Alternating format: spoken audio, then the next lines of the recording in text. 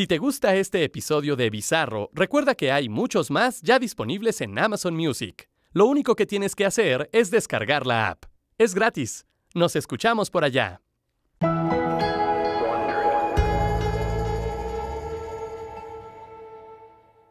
Esto es Bizarro, con Roberto Martínez y Diego Ruzarín. Porque no hay nada más raro que lo normal. Una producción original de Amazon Music y Bonderi. Bienvenidos de regreso a otro temporada, otra temporada, otro episodio. Me queda atorado en medio entre decir episodio y temporada. Em- temporada, temporada. otro temporada. otro temporada de Bizarro. Hemos vuelto a la gente que nos clamaba, que nos puso ahí los comentarios. Primero que nada, muchísimas gracias por todo el apoyo. Estuvo muy chingón. Sinceramente me, me sorprendió positivamente la respuesta de la banda con este, con este proyecto que, que empezamos. Me da muchísimo gusto estar de vuelta aquí. ¿Cómo has estado, Roberto? Muy bien, también muy feliz de estar aquí de vuelta en este hermoso proyecto que se llama Bizarro. Otra temporada más, otro capítulo más. Eh, y nada, feliz, la verdad, feliz de que este proyecto haya cautivado a algunas personas. La verdad, yo también me, me hice muy fan del- de mí mismo. Soy, soy un fan de mi propio proyecto. Este, pues nada, Héctor, ¿tú qué pedo? ¿Cómo andas, güey? Ah, pues yo no soy fan de mí mismo, pero, Pero- es bueno verlos otra vez. Qué gusto. Soy fan, de, ya soy fan de mi propio proyecto. la Sí, la neta el proyecto está bien divertido. Sí. Sinceramente sí está bien divertido. Y, y me gustó mucho que varias gente nos escribió diciendo que, oye, no mames, ya me había acostumbrado a escucharlos y así. Y la verdad, qué cool. Para ti, amigo, que mandaste o amiga que pusiste ese comentario, te mandamos un abrazo. Y aquí estamos de vuelta por ti, güey. Saludos, amigo, que definitivamente no eres imaginario. Pero bueno, empecemos. Vámonos. Empecemos. A ver. Perfecto. Eh, ¿Con esta? Yeah. No, el, el- oh, ya, ya estamos. No, ¿Cuál es la de que pase el desgraciado, güey? Estamos- Ah, estamos. Bueno, la primera nota que traemos es un, tu- un turco coloca una jaula en su cabeza para dejar de fumar. Ah, cabrón. No sé qué es lo más extremo que ustedes han hecho para quitarse algún mal hábito, pero este señor, Ibrahim Yusel, tenía 42 años en 2013 y fue cuando tomó la decisión de dejar de fumar. Llevaba 26 años fumando dos cajetillas de cigarro al día. Este, hasta que su padre falleció de cáncer de pulmón y decidió ponerle fin a su adicción. Ponerse una eh, jaula en la cabeza. Así es. Él, él mismo la construyó, eh, una especie de jaula casco para impedir que un cigarro tocara sus labios. Eh, una vez que se cerró el candado en la jaula, le entregó las llaves a su, a su esposa para evitar que abriera la jaula. A la fecha, hasta la fecha no se sabe más del tema. Pregunta, ¿y ¿cómo, cómo come, güey? Este, con un popote. ¿Come Y con puros- un popote? Puros líquidos. A la madre. Pero si pasa el popote, pasa un cigarro también, ¿no? Pues no sé si ese lo puede apretar más y que pase por las rejillas. Qué duro, güey. A ver, a lo, a lo mejor, Dale. a lo mejor, o sea, la, la jaula definitivamente se puede abrir, ¿verdad? A lo mejor su esposa es la que tiene la llave y solamente lo abre cuando come. ¿Qué opinas de esta nota? Está muy Híjole, cabrón. Sí, sí, está muy cabrón. Eh, o sea, ahí te va. Lo que se está trabajando aquí es sobre la fuerza de voluntad, ¿no? O sea, sobre qué tanta voluntad, o sea, qué tanto poder tenemos nosotros sobre nuestros propios impulsos. Y la relación con los impulsos, pues definitivamente no es nada nuevo. Durante muchísimo tiempo hemos tenido estos problemas de, ah, tenemos que resistirnos a nuestros bajos deseos, ¿no? Y un, un gran ser humano es un ser humano que es capaz de dominar sus impulsos primitivos, ¿no? Entonces, de que, oye, los impulsos a la violencia, a la hipersexualización, a la maldad, al vicio, a la repetición, a todas aquellas cosas que se perciben como eh, inmorales en un determinado periodo histórico. Entonces, la relación que tenemos nosotros so- sobre el control de impulsos, aquí lo que él está diciendo es, yo no puedo, o sea, es- este impulso yo no lo puedo controlar, necesito un tercero, o en este caso, una herramienta que me impida ceder o caer frente, frente a mis impulsos. Pero aquí también, o sea, lo que creo que revela este tipo de notas es que las adicciones realmente nos superan. Claro. Y, y hay algunos casos de dependencia química que realmente no importa qué tanta fuerza de voluntad tengas, pues estás peleando contra tu cuerpo entero, güey, ¿sabes? Sí. O sea, es una batalla perdida. Sí, me recuerda mucho, eh, no sé si has visto, pero hoy en día está muy de moda Mm. algo muy similar con los celulares. Si tú quieres Ah. hacer un, o sea, si tú quieres pasar una mañana sin tu celular, hoy en día venden frascos que tienen contraseñas y timers para que tú metas tu celular adentro y no lo puedas Sí, sí, sí. Y hoy en día se compara mucho la Mm. adicción o la dependencia que tenemos a nuestros celulares con precisamente la que tenían o la que siguen teniendo las personas, pero más que nada en los 70s, Sí. con los cigarros, ¿no? Y más que nada se compara en esa época porque en esa época estaban en un punto en donde las mismas cigarreras no aceptaban que generaba una dependencia en los usuarios. Hoy en día los celulares se habla de la misma manera, se te venden como esta plataforma neutral en donde tú puedes compartir tus ideas y de manera muy orgánica las mejores ideas se van a acabar llegando a la superficie y se van a viralizar.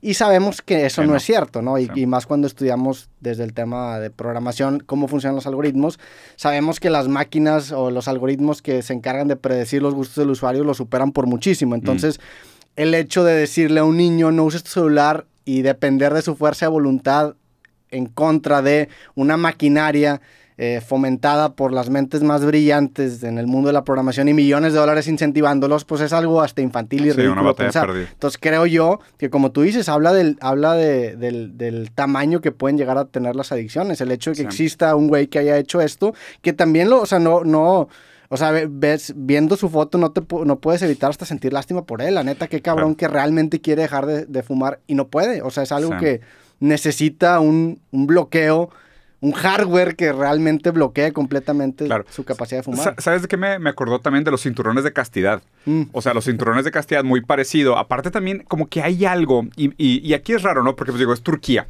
Entonces obviamente es un país este, pues, muy expropiado, muy explo- sobreexplotado por países desarrollados, un país que definitivamente tiene mucho desarrollo que hacer para llegar a las economías modernas y a las culturas modernas desarrolladas. Eh, parece que está más cerca de otro paradigma histórico, ¿ok? Por eso me parece que el problema que tiene este señor, más que los niños con el celular, me parece que está más cerca de los cinturones de castidad. ¿Sabes? Como, o sea, lo que quiero decir es... A ver, claro, poner el celular dentro de una cajita acrílico para no poder sacarlo hasta que no suene el timer es una manera también de resistirse a los impulsos, estoy de acuerdo. Pero esto se parece mucho a los cinturones de castidad porque juega un papel como simbólico, ¿sabes? O- aparte el metal, la jaula, ¿sabes? Es como que, güey, o sea, es muy, es demasiado simbólico, o sea, el peso es demasiado como prisión, ¿no? O sea, soy mi propio prisionero, ¿no? O sea, soy, soy un, como eres esclavo de tus pasiones, yo mismo me tengo que aprisionar como esclavo de mis pasiones. Y aparte siempre está esta relación, por ejemplo, que ha existido en las argollas de matrimonio, que de una manera, pues son una metáfora de las esposas. O sea, tú tienes una esposa y las esposas eran para marcar un tipo de eh, relación de propiedad, ¿no? Y en este sentido, pues también los esclavos tenían esposas, porque le esposas en los pies, porque le pertenecían a alguien. Las argollas de matrimonio, el, el metal, relaciona la idea de que es algo duradero, sólido, que absorbe, el, que eh, soporta el tiempo. Entonces, como que está esta relación de lo metálico, de lo pesado, Sí. como un tema de restricción y esclavitud. Entonces, en este caso está bien bonita la metáfora porque pues él es esclavo de sus deseos, entonces tiene que aprisionar sus deseos dentro de una jaula de metal para no ceder a ellos.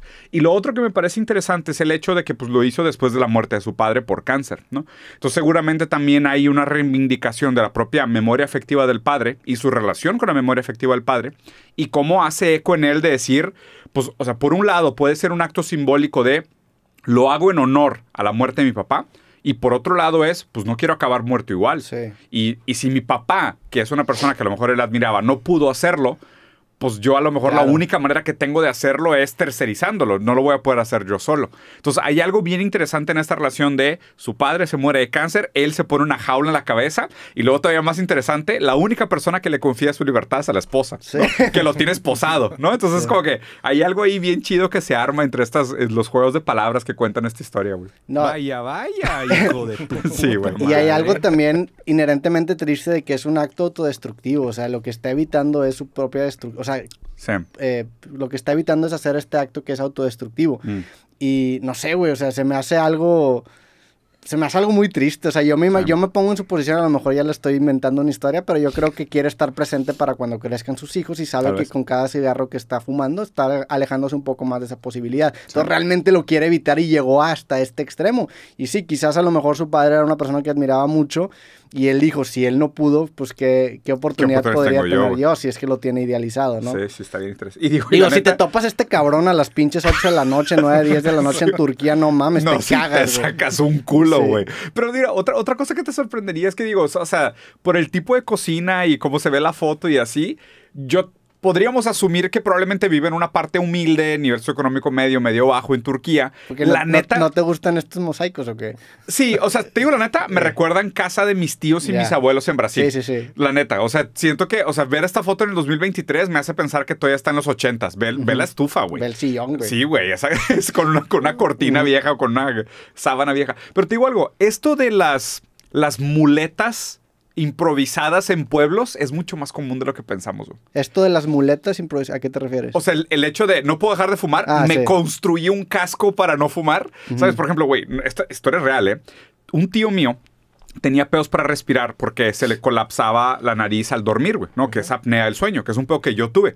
Digo, yo tuve la suerte de que pues uno de mis, de mis mejores amigos es otorrino y me dijo, cabrón, tu nariz está bien pinche desviada por el box, que me la que dejé toda jodida. Me dijo, güey, debes de tener pedos para dormir. Me hizo la, la- la prueba y sí salí con apnea de sueño. Después de un tiempo descubrí que un tío mío, bastante más grande que yo, también tenía apnea del sueño. ¿Sabes cómo lo resolvió él?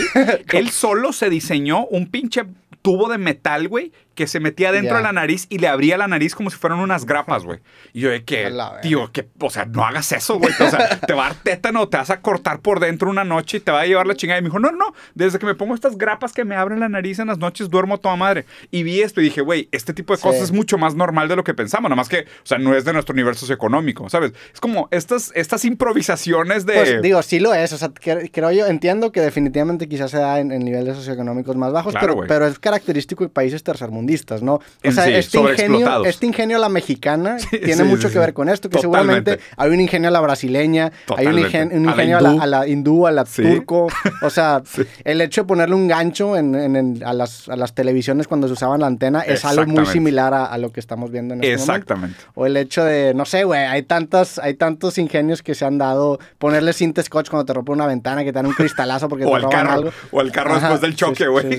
Que le pone una bolsa de papel en lugar del vidrio. Pues sí, güey. O sea, o sea, improvisan para continuar funcionando. Que luego muchas veces la- los países primermundistas o la gente de estratos sociales más, a- más altos agarran estas ideas y las hacen un poco más Las formalizan. rebuscadas, Claro. más, sí. Que, que aquí lo, ve lo interesante, güey. O sea, aquí lo interesante sería pensar, porque siempre este tipo de cosas lo que tenemos que pensar es eh, qué sucede cuando una persona se desarrolla con muletas.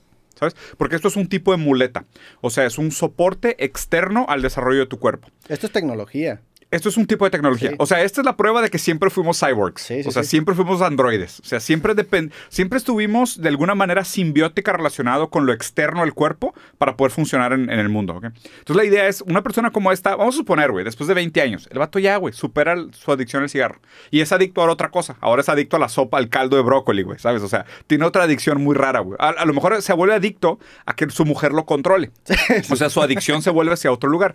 Y el güey se quita este casco y de repente dice, güey, se me antoja bien cabrón un brócoli. No, no, ponme el casco otra vez, ¿sabes? Es como que, pues ya no va a poder. Porque ahora va a sentir que la única manera que tiene de resistirse a sus deseos es con una muleta. Sí. O sea, ese, es- ese es el problema, porque desarrollarse con muletas hace que la muleta se introyecte como algo parte de tu sistema de toma de decisiones. No sé si me explico. Sí, pero yo creo que sí es fácil poner límites. O sea, entiendo la, la muleta para, para dejar de fumar, que es algo que me imagino que debe ser terrible. Yo, no, yo nunca he sido fumador, pero Sí. pues tengo otros, otros comportamientos que he batallado yo para, para quitarme. Mm. Pero pues no es como, o sea, no, no creo que aplique para todos los comportamientos, ¿no? O sea, como comer un brócoli, pues... No, no, no, definitivamente no. O sea, por eso también lo, lo quise separar del tema del celular, aunque digo, el celular también pudiéramos hablar de cómo produce una dependencia química, ¿no? Por, la, por cómo liberas dopamina serotonina y lo que tú quieras, oxitocina. Pero eh, específicamente el caso del cigarro y del alcohol, por ejemplo, o de la alimentación mala, güey,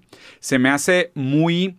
eh, muy difícil para el ser humano mostrar una resistencia saludable, porque el, el lugar de donde origina el deseo es un lugar material. ¿Sabes? Es como si estuvieras diciendo, porque esto produce dependencia química, ¿no? Y la dependencia química se constituye y te arma la historia que te da herramientas subjetivas para explicarte a ti mismo por qué te mereces un cigarro. Pero, pero la, la, la dependencia celular también, también es una dependencia química. Por lo mismo, por lo de la dopamina, Sí. oxitocina y todo. Pero, pero son relaciones que, a ver, ahí la neta está muy difícil de comparar. Digo, qui- quizá, quizá la diferencia es que la misma recompensa que te da el celular la podrías conseguir de otro lugar. Tal vez sí. Masturbación, o sea, todas cosas que generan pero- así. pero la del cigarro, nicotina, ajá, exactamente. ese es el la tema. del cigarro es difícil Eh, a eso quería llegar, ¿sabes? Porque, por ejemplo, aquí no es tanto, es tanto como un acto en el mundo material te produce la, la- la producción de una sustancia que te hace sentir de una determinada manera. Entonces, es esa sustancia la que produce la adicción o la ausencia de esa sustancia.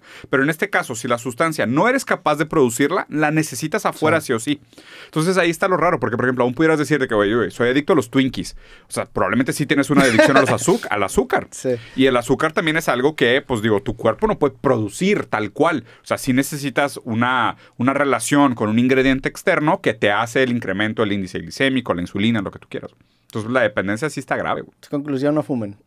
Pues digo, la neta, sí, güey, la neta no fuma. Sí, está- está de la verga. Y sí, sí, pónganse un casco así, Sí, güey. Pero sí, güey. Oblígame, perro. Pero siento, siento que podrían haber cascos más chidos también, ¿no? Sí, digo, este güey, juzgando por su casco y por su departamento, no creo que tenga el mejor gusto. ¿Por qué se ve rojo, güey? O sea, el metal está pintado rojo porque siento que está como innecesariamente asustador. Está un poco saturada la imagen en la televisión. ¿Sí? Sí, sí, sí. sí. Siento que está innecesariamente asustador, güey. Es como que, no sé, güey, parece salido de Silent Hill o algo así, güey. O de Resident Evil, está bien raro, güey.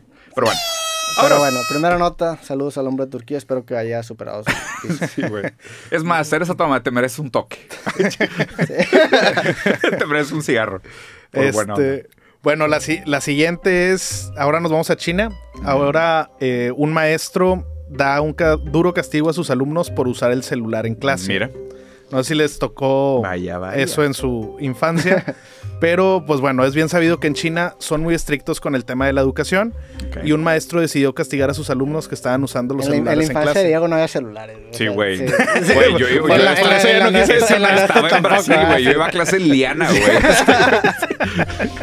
Nosotros nos columpiábamos para ir a Ah, clase en el pues, Amazonas, güey. Ahí, ahí que te quitaban o que te castigaban. Eh, no sé, las señales de humo, güey. bueno, este, bueno, acá el profesor.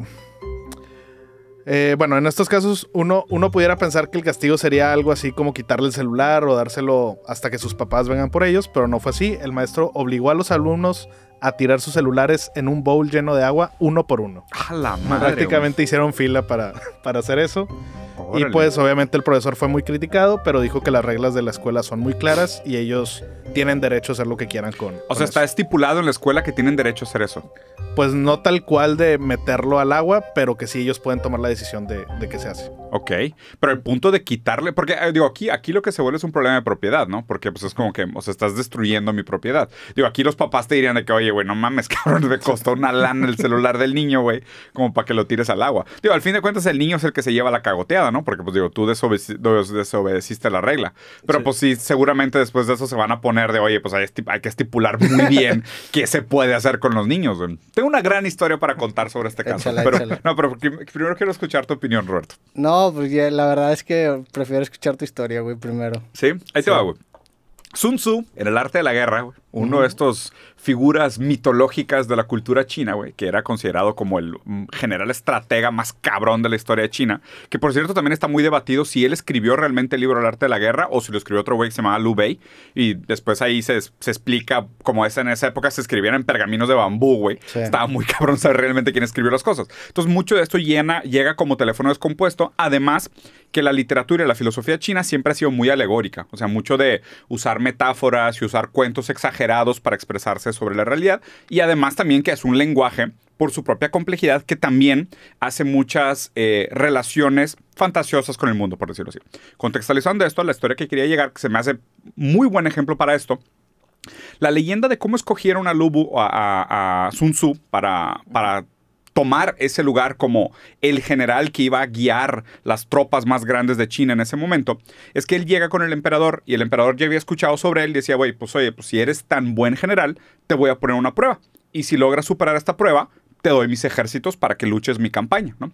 Entonces le dice, si tú logras entrenar mi harén, o sea, mis concubinas, las, las novias del emperador, las, las sirvientas del emperador, si logras transformarlas a ellas en un ejército, yo te doy mi ejército entero. A las novias. a las novias. Entonces el vato dice, va, jalo. Entonces de cuenta, las separa en dos grupos, hace dos grandes bloques de concubinas, agarra las dos favoritas del rey y las pone como cabeza de batallón, como las, las, las, las encargadas de cada batallón, y les dice, voy a tocar el tambor tres veces. Y la tercera vez que toque el tambor, quiero que todas giren 90 grados a la izquierda. ¿Entendieron? Entendimos, perfecto. Tum, tum, tum. Y todas de que, ya, pues nadie se voltea. y voy a que a ver, les voy a explicar otra vez. Voy a tocar el tambor tres veces. Y cuando lo toque por tercera vez, giran todas a la izquierda. ¿Están de acuerdo? Sí, sí, estamos de acuerdo. Ok, va. Tum, tum, tum. El vato va y le corta la cabeza a las dos concubinas favoritas del emperador. A las dos favoritas. ¿ok? Y repite otra vez en voz alta. Voy a tocar el tambor tres veces. Claro. A la tercera, giran todas a la izquierda 90 grados. Tum, tum, tum. Y todas voltearon a la izquierda.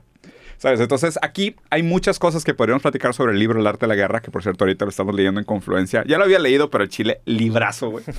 Y está muy cabrón la idea de que un buen general tiene que tener autoridad sobre sus tropas. El, el emperador no se puede meter. Y además el buen general tiene que saber cuándo ser firme con los castigos y, y complaciente con las recompensas. Y esto es algo que, digo, cuando lo vi y vi China y me acordé de esta historia, dije, güey, esto es un sur reencarnado. Sí, sí, sí. O sea, es como que, güey, o sea, ¿tú crees que una semana después alguien va a sacar el celular en clase?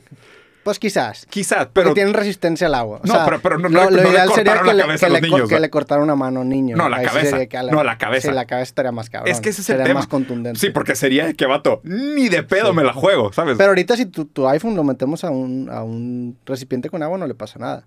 No, o sea, depende ahí- de cuánto tiempo. Ahí realmente. No, depende cuánto tiempo Ahí, también. estás haciendo un filtro de clases, porque tú metes un Huawei y a lo mejor, a lo mejor sí vale madre. O sea, estás, estás diciendo que es un castigo clasista. Totalmente, Sí, estoy- totalmente, estoy- o sea, estoy de acuerdo 100%. contigo, si tú metes un-. Ustedes me dan Ajá. asco, güey. Si tú metes- Malditos o sea, clasistas, güey. Ahí estás blindando a los, a los niños ricos Totalmente de acuerdo, de Roberto. una manera muy... Si, si el castigo, si el castigo para un mal comportamiento es una multa, es un castigo solo para los pobres. sí. Y aquí es, de esta manera se asemeja a eso. 100% de acuerdo, Roberto. Aquí- Ma- sí, Dan- debería sonar el himno de la Unión Soviética y Marx estaría de O sea, acuerdo con deberíamos Roberto. cortar un- una manita. Claro, güey. Así Sí, es, sí. así es igual para todos. O sea, todos se quedan con una mano. A menos. ver, ¿sabes? Eh, bueno, la neta, gran historia, primero que nada. Chida, Chile sí, sí, Sí, complementó muy bien lo, lo, lo- lo ocurrido aquí. ¿Qué te parece este? O sea, te- ¿tú estás de acuerdo con este castigo o no? Mm. Imagínate que todos los niños tuvieran un celular que se jode cuando lo metes al agua. Ah. A ver, güey. Antes de que contestes, aquí dice que la escuela tiene bien estricto el tema de los teléfonos, relaciones románticas, tomar o fumar, y que los padres firmaron un acuerdo de que la escuela podía tomar medidas drásticas en Ya. caso de que se incumpliera. Mira, te, te soy sincero, güey. O sea, como papá, güey. Y con niños chiquitos que ahorita, por ejemplo, Luca le, le- le acabo de castigar el Switch la semana pasada. O sea, le quité el Switch la semana pasada porque estaba teniendo pedos de concentración en clase, güey. Entonces, yo sí creo que tiene un efecto muy nefasto en nosotros el celular. Por la capacidad de concentración. Imagínate qué difícil tener que aprender física o matemática mientras estás todo el Sí, tiempo no, es checando. imposible. Imposible, güey. Güey, si ya no puedes ni siquiera ver una serie porque traes el pinche celular en la mano, güey. O pero sea, no, no, o sea, yo tenía entendido que los, los niños pueden llevar celular a clases. Sí, o sea, pero si la idea es en que no lo primaria, uses. o sea, si estás en primaria puedes llevar celular a clases. Pero la idea es, si no lo usas, pues Ya. no te pueden decir que no. Digo, Sí. o sea, en- entiendo la postura de la clase también de decir, no lo Es que deberías a, usar. a mí nunca me tocó llevar celular a secundaria, o sea, preparatoria fue cuando los Sí, celulares ya, yo, ya yo también en prepa ya tenía celular, pero güey, ¿qué tenías? El, el pinche jueguito la O a lo serpiente mejor en la verga. secundaria, pero ajá, en secundaria tenías un celular Nada, que no güey. tenía Sí, ni al caso, güey. Exacto. Hoy en día es... Pues tienes todo. Sí. O sea, tienes el mundo entero en, en tus manos a un clic. Tienes la es- capacidad de muchas veces contradecir a tu profesor con un Google Directamente. Search cagante. Creo que, creo que justo nos está tocando como esa etapa transitoria entre un cambio de paradigma. O sea, en el proceso de cambio de paradigma de, oye, el celular no es una herramienta poderosísima para el conocimiento. Sí, pero se usa para ver memes. Pero a ver, ¿por qué los niños tienen que llevar celulares a clase? No, no tienen que, pero pueden. ¿Pero por qué? O sea, ¿por qué no nada más se prohíbe? Por, Porque, porque porque se existe... van a decir, y si hay una emergencia familiar. Exactamente, eso es a lo que voy. Entonces, eso es un síntoma de lo dependientes que somos del celular. 100%. Porque en los noventas tú te ibas de tu casa todo el día y tus papás sabían que estabas jugando en no sé dónde chingados y regresabas a tu casa. Yo Hoy en día tenemos temor, o sea, hoy en día no contestas tu celular ocho horas y ya creen que te secuestraron. O ya creen que te atropellaron o desapareciste. O sea, eso es un síntoma de la dependencia que tenemos hacia el celular. Estoy de acuerdo. Yo sí diría que para empezar, para ahorrarte este castigo, nada más no hay celulares. Sí, la neta es de que no, o sea, no creo que estemos tan lejos de que simplemente las escuelas empiezan a decir, entras al salón, metes un celular al COVID y no lo sacas hasta que se acabe la clase. La neta, ¿eh? O sea, a mí me parece bastante prudente que sea de que pues, no lo necesitas, sinceramente. O sea, no lo vas a ocupar para nada, se supone que estás estudiando. De verdad, de verdad, de verdad, el daño que nos está haciendo a la capacidad de concentración y retención de información nueva es brutal. No, aparte, la brutal. aunque si lo tienes en una clase, la probabilidad de que lo uses para algo productivo es mínima, es nula casi. Nula, güey, sí, o sea, porque el- tu celular está diseñado incluso para cuando tú te quieres hacer productivo para distraerte. Claro. Tienes notificaciones, tienes Sí, todas estas cosas que son... Sí. Imagínate, ok, me voy a meter a YouTube para buscar un video tutorial sobre lo que está hablando la maestra y hay comerciales Sí. y sugerencias de otros videos. Es de que, o sea, no está diseñado para eso, está diseñado para distraerte literalmente, güey. Digo, lo que se podría hacer es hacer un modo escuela. Ah, en como un airplane mode, pero school mode. Ajá, school mode. Que solo jale la calculadora, por ejemplo. pues, güey, es que quieras o no, güey. Solo jala la calculadora y tengas a lo mejor Pues tres personas que te puedan mandar ya, no mensaje. ya no necesitas comprar calculadora. Digo, a menos de que necesites una TI o Sí, algo, no. güey, o sea, una profesional, pues todos los... No, aún- y ni una TI, No, qué ¿verdad, güey? Ya lo hace Ya todo tengo el mi celular. TI-84 guardada y chinga su madre. Está carísima esa pinche calcu- calculadora. Güey, yo también tuve que comprar una fue una mamada, güey. Yo también tenía la TI-84, güey. Una gris. Sí, de, de grandota, está bien chida. Que puede escribir boobs. Todo el mundo escribió boob. Todo el mundo escribió boobs en sus calculadoras. No se hagan, güey. Sí, güey. Sí, qué cabrón, la neta. Pues bien por China, güey. O sea, sinceramente es el tipo de cosas que digo de China. Digo, bien. Estoy de acuerdo. Sí. Bien, ¿sabes? Es como que, porque siento que es el tipo, o sea, si pasa aquí, sería de que las mamás y los papás haciendo manifestaciones contra los, los, los maestros de que, ¿cómo? Dañaste el celular de mi hijo. Es de que, señora, su hijo está bien estúpido, güey. Pero eso estoy es- tratando de ayudar, hágame Pero el a ver, favor, esto es reciente, o sea, tú te ibas Sí. a las escuelas públicas en los años 70 y eran... Reglazos. Mi papá me ha contado historias de... Te, te hincaban en el sol para que te arrepintieras de lo que habías hecho, La reglazos, borradorazos y era... Sí, está duro también. Era dura la cosa. Pues hay límites, ¿no? Aquí, Hoy- aquí me parece que no se está poniendo en riesgo la integridad de los alumnos, güey.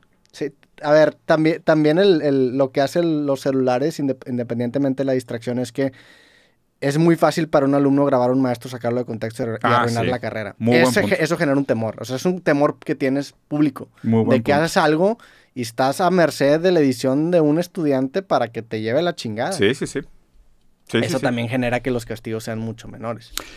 A mí, la neta, yo sigo de acuerdo con este tipo de cosas. Por ejemplo, en China también prohibieron de que la- las, el máximo de horas de videojuegos para menores de edad, lo cual también estoy de acuerdo. O sea, creo que hay una serie de cosas que sí se necesitan ser reguladas desde afuera. Pero ve, ve lo raro cómo se relaciona esta historia con el, con el güey que se Sí. puso una jaula para no fumar. O sea, es como que necesitas un, una herramienta externa que te limite, ¿sabes? 100%. ¿Por qué? Porque el mercado constantemente te está diciendo más, más, consume más, usa más el celular, fuma más, ¿sabes? O sea, todo más, todo siempre más. Y pues aquí realmente te están diciendo, no, pues hay un límite para las cosas. Y la verdad es que sí, me parecen que los límites son buenos. Sí, totalmente. Pero bueno, entonces bien por China. ¿Le aplaudimos a China? ¿Hay aplausos aquí o no? ¿Aplausos para China? No, Sí. ¿Por qué no? Eh, bravo. Creo que se quitaron. Impresionante. Impresionante. Mira nomás, mira nomás. Bueno, vamos con la siguiente nota y ahora nos vamos hasta India. Mm. Un chavo hace... Oye, la- como que hay una tendencia para todos los países, ¿no? O sea, no, no quiero sonar racista, pero China, India y Estados Unidos son top 3, Ey, güey, ey, neta, ey, güey. aquí estamos, aquí estamos quitándole a Estados Unidos Un poco de el protagonismo. protagonismo en el mundo del entretenimiento. Deberíamos de revisar más noticias sobre Florida, güey. Siento que no hemos hablado lo suficiente sobre gente de Florida. A ver, dale. Lo podemos hacer. Eh, bueno, acá un chavo hace lagartijas en el techo de un auto en movimiento. Ah, que la madre. Este- Ustedes me dan asco. Los habitantes de la ciudad de Gurugram están acostumbrados a eventos bizarros, mayormente eventos que involucran a personas borrachas. En esta ocasión, un par de amigos iban en un auto en movimiento y en plena avenida principal a uno de ellos se le ocurrió subirse al auto, al techo del auto y empezar a hacer lagartijas mientras que sus amigos lo festejaban sentados en la ventana. Obviamente el evento fue grabado y subido a redes sociales por los otros automovilistas que presenciaron los hechos. Gracias a esto la policía dio con los fiesteros y los multaron. Eh, multaron. hay que mencionar que en esta misma ciudad Sí. también una especie de quinceañera que estaba celebrando se subió al- a, a un carro también en movimiento y pues al parecer es algo que se acostumbra ya. A ver, dale tu, tu take, Roberto. ¿Tú tienes un amigo que sería capaz de hacer esto? Sí, Sí, o sea, co- conoces perfectamente el perfil de la persona que haría ese tipo de lagartijas arriba de un auto en movimiento, ¿no? Sí. Que a ver, hay que, ¿Tú? hay que también contextualizar, es un auto muy pequeño, o sea, no es un auto, Aparte, no es una suburban donde hay Sí. mucho espacio, es un Atos o, Sí, o no sé qué carro sea, es un Chevy, o sea, es un carro muy chiquito, ¿no? Y bastante popular porque al lado hay otro idéntico. del mismo pedo. color, sí, Sí, sí. güey, the odds, güey. Sí. Pues, güey, digo, también me, me- me- me interesó saber que la gente de Gurugram al parecer tiene la fama de ser gente borracha. O sea, se, se nota como un buen lugar para ir de Sí. fiesta, ¿no? Híjole, güey, quiero hacer un análisis bastante perverso de todo esto. A ver, Ahí te va. De hecho, no es, no es, no es poco común ver este tipo de comportamientos eh, en estas edades, ¿ok? Y en estas regiones, ¿ok? Primero, contextualizando, en, en India eh, y en China también, fíjate, está el problema de los incels, ¿no? Que digo, es algo que empieza en Estados Unidos, pero es, es bastante común en India y en China. Que tiene mucho que ver con las juventudes. ¿Qué son que- los insults, perdón? Involuntary celibacy. Ah, ya. Las personas que Ah, adoptan, incels. sí, los- la gente que adopta el celibato de manera involuntaria, como diciendo, yo quisiera Ya. tener relaciones sexuales y afectivas con, con- con gente que me gusta, pero no puedo, entonces me declaro involuntariamente asexual, por decirlo así, involuntariamente célibe.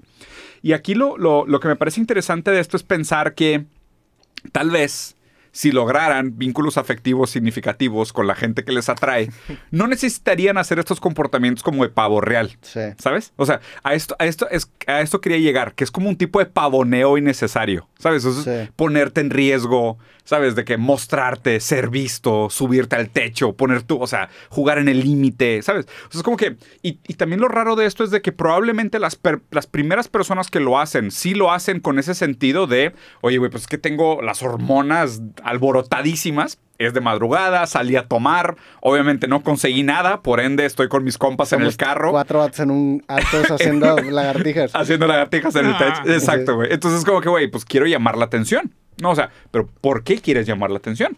¿Cuál es el punto de llamar la atención? Ah, pues para ser visto, ¿no? ¿Y para qué quieres ser visto, no? Pues para ser reconocido. ¿Para qué quieres ser reconocido? Para sentirme alguien, ¿no? Entonces, sentirte reconocido y ser alguien depende de que una mirada afectiva te dé un lugar en el mundo. Y obviamente, pues esto tiene también connotaciones sexuales y de relación, de que pues quieras ser amado por alguien, quieras ser apreciado por alguien más, y al no lograrlo, pues cada vez más le tienes que ir subiendo al volumen de, güey, ¿cómo le hago Sí. para que la gente me reconozca, güey? ¿Sabes? Entonces, todos estos rituales acaban transformando como, como la gente es incapaz de establecer vínculos afectivos significativos, cada vez su manera de llamar la atención es más radical. Sí. O sea, esa es, esa es mi lectura del caso. Lo que se me hace muy interesante que lo mencionaste es esta idea de qué tanto, o sea, qué tanto afecta el, tu comportamiento el celibato, ¿no? Sí. Y el celibato en cuestión tanto de relaciones sexuales como de masturbación, ¿no? El, el hecho Sí. de no tener ese No release, November. qué tanto te afecta. Y te platico, ayer, antier, a- ayer me estaba ¿Qué nos vas a masturbando. Sí, Déjate, les platico. Es- Está interesante la historia, la Vaya, vaya. Deja, platícanos cuántas madre. ventanitas tenías abiertas, Roberto. Antier- antier- ¿Cuántos tabs tenías abiertos? Antier estaba en California ah, y me- enfermé de la verga. Ah. Me llevó la verga. Y así te curaste, güey. Me dio diarrea, fiebre.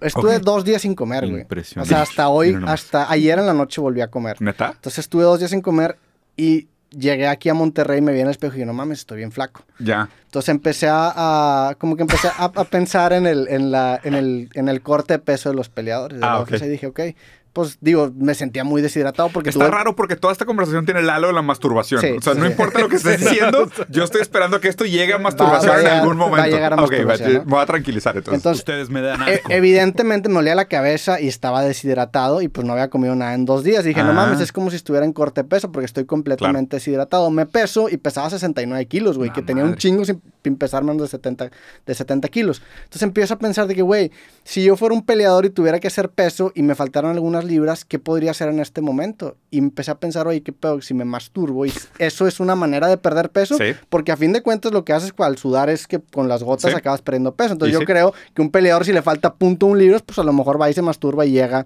a- a- Pero tiene que ser una masturbada furiosa para que te pongas a y sudar, ¿eh, tienes güey? que tener rato sin, sin haberte Sí. sin haberte venido. O sea, literal te metes al sauna, le subes todo el calor, güey, y dices, voy a aguantar media hora Sí. por lo menos. o me Entonces, voy a aventar al- una triple. Entonces me Vato, meto a. Google y empiezo a buscar esto. Y digo, oye, Is ¿qué- masturbation a worthy technique to losing weight? Ajá, for weight cutting. Ok. Y lo, la primer- lo primero que me sale es precisamente un artículo. Videos de- tutoriales. No, no, no.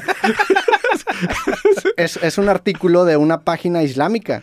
Ah, y, cabrón. y la pregunta era, ¿Does, mar- does masturbation break the fast? Y hablaban de Ramadán. No. Y empecé a ver, la, o sea, empecé a ver cómo tipificaban la masturbación y cómo la clasificaban de que, oye, si te tocas es un, un tipo de rompimiento de fast, pero si, Claro. si te llegas a venir es un sin grave, güey. Entonces empiezas a entender la presión que tienen estas personas por parte de la religión, que no sé si en India se practica, me imagino que en India no sé si sea muy similar, pero bueno, no, la verdad desconozco muy bien en, en qué países se Sí. aplica de una manera ortodoxa, pero bueno, lo que me impresionó fue el lenguaje que usaban para pues para de cierta manera hacer sentir mal a la persona que se acaba de masturbar. Y dije, órale.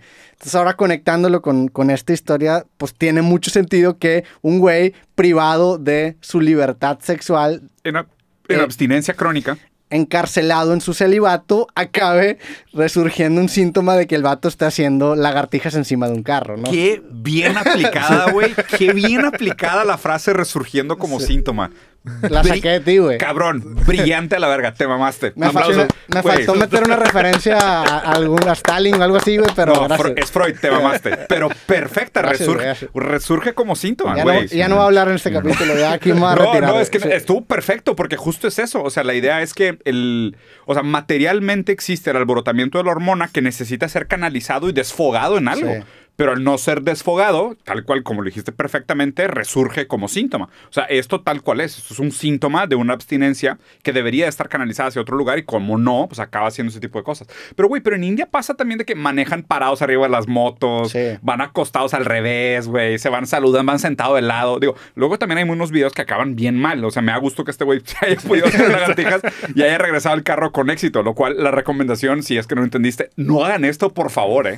O sea, por favor, no hagan esto. O sea, no podría recomendarles más no seguir este ejemplo. Es Pero terrible, güey. qué buena peda agarraron, güey. O sea, al chile ves esa Sí. foto y dices, no mames. ¿Te acuerdas, güey? Sí. ¿Te acuerdas cuando hice Que lagartijas salimos en la noticia a nivel mundial, güey. No, estuvo con madre, güey. ¿Cuándo salimos otra vez? No, no, estás loco, güey. Sí, Sí. güey, ni de pedo. Pues muy bien. Felicidades por ellos, güey. Ojalá y, y... y también hubo una quinceañera que lo usó, que lo hizo. No, no tal cual quinceañera, pero una chava que se vistió también como para fotos y también se subió al... No, pero a ver, tú has ido a India. No, no, No iba has ido- bueno, yo tampoco he ido a India, pero he platicado con gente que ha ido a India. Me acuerdo puntualmente de Alan por el mundo y él me dijo que la cultura vial de India es la más caótica que puedes. O sea, yo he visto Sí. videos de la cultura Ah, ca- de sí. vial en India y madre. son motos, carros y hay un desmadre vial. sí. Entonces no sorprende tanto que esto haya ocurrido en India. Tam- también estoy de acuerdo. Sí, o sea- y, y otra cosa. Hay niños Por- sentados arriba de los manubrios de motocicletas, o sea, es... es- Locos. Iban cuatro personas en una moto, güey. Está cabrón. La pobreza hace cosas increíbles con el ser humano. Y lo otro es que también, pues, o sea, son uno, son 1.200 millones. Sí, algo así. 1.200 millones de personas. O sea, la probabilidad de que pase algo raro, la incidencia por pura probabilidad es altísima. Porque son demasiada gente, güey. sí. Pues bien por ellos. También, a ver, también el- la referencia... Es que India es un mundo tan aparte a lo que nosotros conocemos que incluso las referencias culturales son muy distintas. O sea, Sí. todo Bollywood, por ejemplo, son es completamente ajeno a nosotros. ¿Viste la de triple R? No, no he visto nunca la de triple Güey, R, ¿no? está buena, güey. Está buena, güey. O sea, lo que voy es que es, es, es lo más cercano que tenemos a un mundo culturalmente Mundo aparte aparte, a nosotros. sí, o sea. Bollywood, el hecho de que cricket sea el, el deporte, deporte más nacional, popular y que sí. haya, haya deportistas equiparables con Cristiano Ronaldo en popularidad cricket, en sí. cricket en India, te habla de lo ajenos que somos a esa realidad. Entonces, estamos viendo una imagen sacada de contexto y la estamos aplicando al contexto. Pero eso fácil podría ser Gonzalitos a las 4 de la mañana, sin pedos. Sí. O sea, güey, es más, no se ven las placas, un anuncio de fondo, güey. Si te digo que esto es en Gonzalitos, sí me crees. Sí. Si nunca has visto la foto y te digo, oye, güey, esto pasó el fin de semana en Gonzalitos o en Insurgencia, lo que tú quieras, te la crees, güey. Yo creo que si tuviéramos que jugar un juego de quién es más probable que haga eso, tú ganarías, güey. De subirse De al carro tres, lagartijas. tú ganarías. Aparte, deja tú, porque yo con mis primos y mi hermano teníamos la costumbre de hacer lagartijas en la peda. Sí, yo definitivamente creo que tú ganarías. güey. Sí, estaríamos más cerca. O sea, no sé si ganaría, pero sí estaría más cerca. Ajá. Nunca me he subido al, ter- al techo de un carro en movimiento, ni sentado en la No, ventana. y aparte de, seguramente a esta edad no. No, Porque no. tienes hijos. Sí, güey, Pero a pedo. tus 20 Probablemente sí, güey. Sí. Sí, Eh, probablemente sí es. tropicalizando el evento, pues aquí cuando ganó Tigres la última vez, Sí. creo que estaban haciendo carne asada en la cajuela de un auto en movimiento. Por ejemplo, que veas, no estamos tan no lejos, güey. estamos tan Sí, No lejos. estamos tan lejos. Acá- México e India es muy similar, güey. Güey, sí, La cabrón. verdad. Sí, tiene muchas Incluso cosas en desde la común. gente, cómo se comportan. La gastronomía, La gastronomía tiene un su picor sí. Que es distinto al de México. Incluso. Pero la dependencia, el picor, Sí. diría que es fundamental. Y los sabores terrios también son muy a ver, y también la, la, la calidad de las celebraciones va en proporción de la calidad de la sociedad que tenemos, ¿no? O sea, si tienes una Sí, sociedad en donde culera. cada celebración es una catarsis porque te quieres olvidar del mundo de mierda en el que vives, pues bueno, te acabas haciendo lagartijas encima de un Claro. auto, ¿no? Lo mismo, síntoma. Sí. Muy bien. Perfecto. ¡Vámonos! Eh, la siguiente nota, ahora nos vamos al Reino Unido, para cambiarle un poco. Ea, a ver. Eh, mujer envenena su comida para darle una lección a sus compañeras de habitación. A ver. A la verga. ¿Cómo, cómo, cómo, cómo? Eh, ¿Se envenenó sola? no, envenena la comida de sus compañeras de cuarto. ah, cabrón. Pero es envenena. Realmente le pone sal. ¿Qué es lo que hizo? Es un usuario de TikTok compartió que hace unos años se dio cuenta que sus compañeras de cuarto le estaban robando comida. Así que decidió tomar medidas drásticas y envenenar su comida. Ella confiesa que durante un tiempo le estuvo agregando mucha sal a ciertas comidas para que ellas aprendieran la lección. Es neta. Un ejemplo que puso fue que le ponía sal a la leche y pues los usuarios empezaron a dar ideas de qué otra cosa les, les pudo haber agregado. Eh, dieron ideas como laxantes, jabón en polvo, pegamento de rata o alcohol. No, este, o alcohol. Y pues, este, aquí la, la chava compartió su historia. Dice que ya fue hace unos años y pues aparentemente aprendieron la lección. O sea, le, la- la- Qué le duro, robaban su comida y le empezó a echar de un chingo de sal. Exacto. Tú hacías tu súper, tenías tus cosas y de repente ya no estaba el pan, le bajaron a la leche, se tomaron un jugo, Y la morra le empezó a poner de que. sal, a todo. ¿De qué lado estás? Ay, güey. A ver, sal es algo, sal es algo inofensivo. O sea, ya si le pones veneno de rata ya te Sí, estás sí, pasando de sí. lanza. La sal es algo inofensivo. Que chingados, güey. O sea, estar del lado de alguien aquí, ¿qué implica, güey? O sea, estar del lado de ella. Digo, a ver, definitivamente no estoy del lado de los güey, de la raza que le robaba comida. O sea, definitivamente no estoy del lado de ellos. Y si se estuvieran muriendo, a lo mejor están muriendo de hambre. Ahí Pues, sí podrías estar de su lado. Podría ser, güey. Digo, ahorita solamente conocemos esta versión de De la... la historia. O sea, a lo mejor la morra se estaba pasando de ver y le No. quitaba lugares de estacionamiento. a lo mejor así, la morra entonces- no limpiaba la casa, güey. O si olía horrible. Que, a ver, eso es lo que, a lo que quería llegar. Es el problema de cuando se generan estos casos en Sí. TikTok y en las redes sociales que ya es bastante común. Y a lo que me refiero es que hay gente documentando su vida en donde existen antagonistas que ni siquiera saben que están participando en una historia que alguien Mira. está documentando en redes sociales. ¿Viste? Pasa mucho, güey. Yo tengo un compa, por ejemplo, que el güey era jefe en una en una empresa y me dijo, güey, un vato de repente hizo un podcast sobre mí, güey, y me empezó a tirar mierda y al parecer yo era el antagonista de ese capítulo. mames. y eso pasa mucho con redes sociales. ¿Por qué?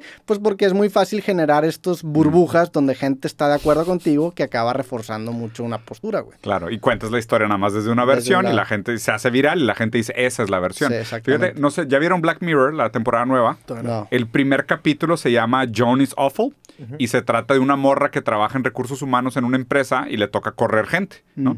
Y llega a su casa en la noche a ver Netflix y hay una serie que se llama Joan is Awful, que se trata de ella.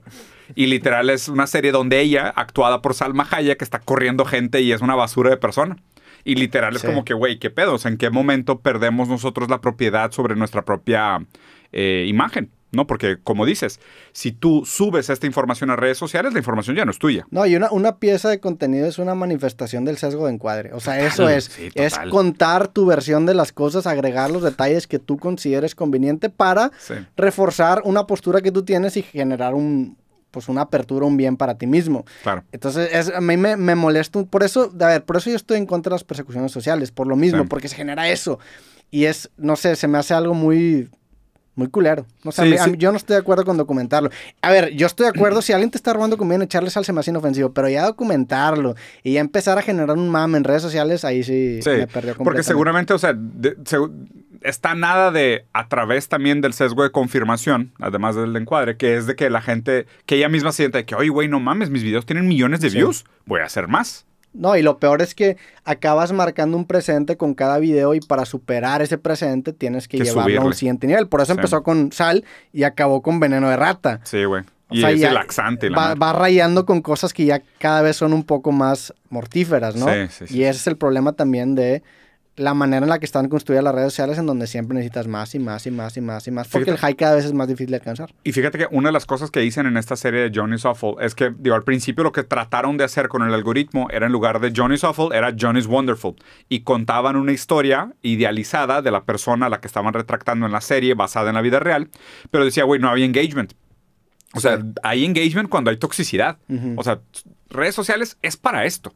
¿Sabes? O sea, redes sociales no es para historias inspiradoras y cosas bonitas y hablar bien de la gente. No. Sí, O sea, hay, sí hay un lugar, pero es mucho más reducido. no se compara. Sí. O sea, las redes sociales son para esto. Es para drama, eh, ¿sabes? Eh, victimización, crucificación pública, destrucción de personalidades.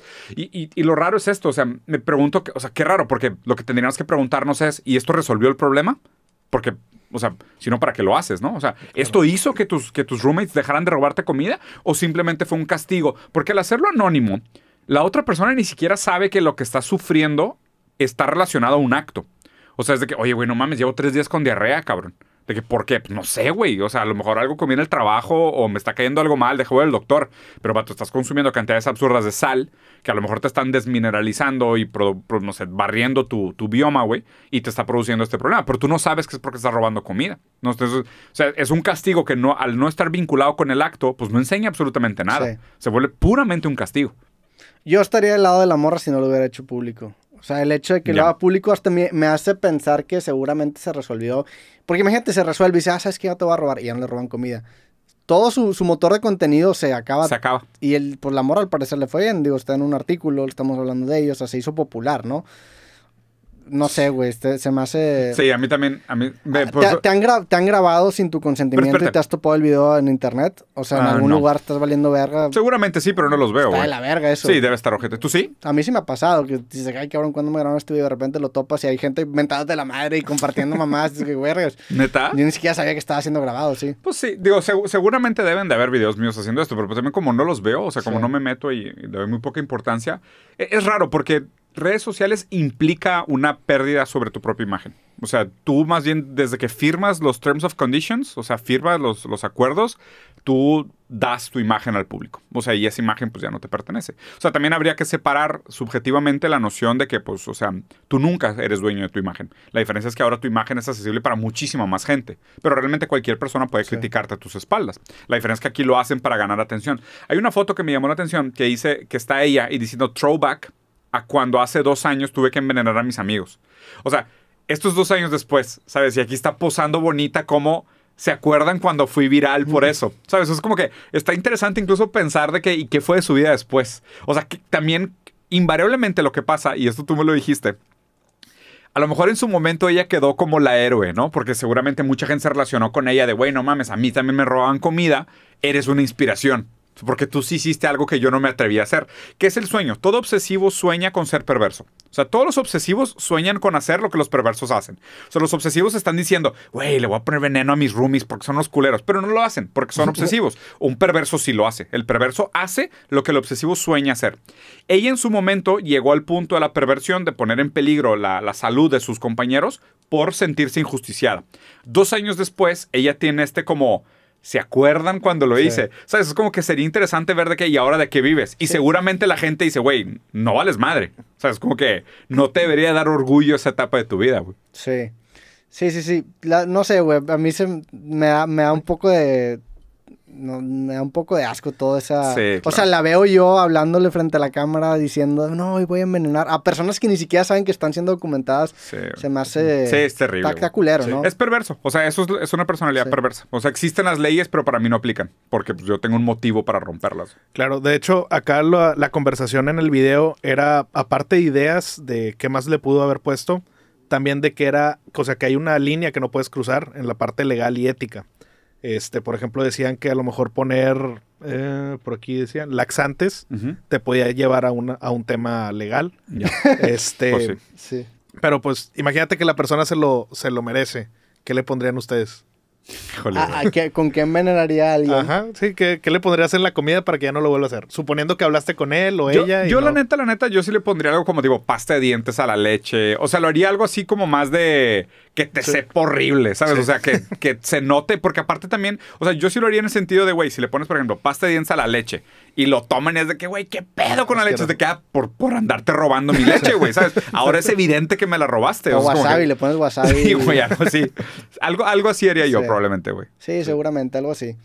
La neta, afortunadamente nunca he tenido problemas con, con alguien robando mi comida. No, güey, yo sí, güey. Yo cuando, Sí. viví- cuando estaba de intercambio en Italia sí me pasaba mucho. O sea, sí era un pedo, güey, de que abrías el refri de que chingados, alguien agarró, güey. ¿Sabes? Y, se- y era bien evidente que era de que puta madre, y era nada más de ver a quién. Pero el problema es que también luego se vuelve como medio bola de nieve, ¿sabes? Y se crean los rencores silenciosos de, ah, pues entonces pues yo no voy a lavar. De que, ah, pues no voy a sacar tu basura, ¿sabes? Y se hacen las divisiones de actividades y si no resuelves esos temas se quedan como... No, y tam- también el pedo es que, pues tu memoria es algo que es imperfecto, ¿no? Entonces Ah, a sí. veces puedes pensar que te agarraron comida, no te agarraron, entonces tú te intentas vengar y realmente le agarras a la otra persona, entonces la otra persona va a creer y Sí, güey. esa, esa inseguridad acaba siendo muchas veces el motor de muchas disputas. Gran punto. Tú güey. creíste que tenías cuatro huevos y realmente solamente tenías dos o tres y ya alguien me agarró y ya generas un rencor y que vas va a y acabar robas explotando. tocino, Sí. claro, y, y- y sí, y tú sí robaste tocino, ¿verdad? Sí, sí, sí. gran punto, güey. No hay que confiar tanto en nuestra memoria. Qué horrible, güey.